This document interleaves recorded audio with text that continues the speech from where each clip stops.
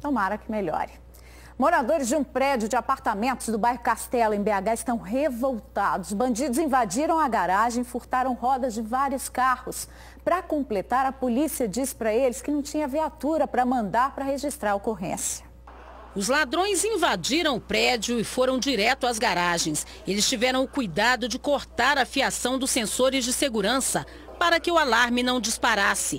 O alvo dos criminosos eram as rodas dos veículos. Cinco carros foram encontrados assim, escorados por sacos de entulho e até pelos extintores retirados das paredes. Segundo os moradores, o macaco e o estepe de um sexto veículo também foram levados e nem a moto escapou sem prejuízo. Os ladrões levaram 21 pneus com rodas, além de duas bicicletas e do baú de uma moto. Para transportar todo esse material, eles precisaram de um carro grande, provavelmente uma caminhonete, que teve acesso ao condomínio passando por este portão, mas que, segundo os moradores, não tem marcas do lado de fora e teria sido arrombado por dentro. Eles fugiram sem ser identificados. Foi um morador do condomínio, um policial militar que saía para o trabalho, que percebeu a invasão e acionou o síndico.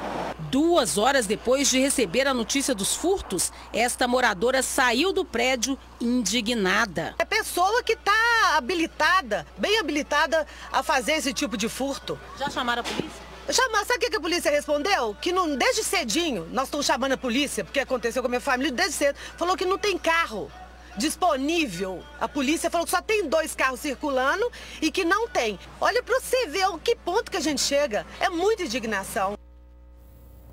Isso tem acontecido direto com quem passa por arrombamento, furto. O tenente Pedro Rogério, da 8 Companhia, que atende o bairro Castelo, diz que a PM atende por prioridades, como no caso do roubo de rodas não havia riscos para o cidadão.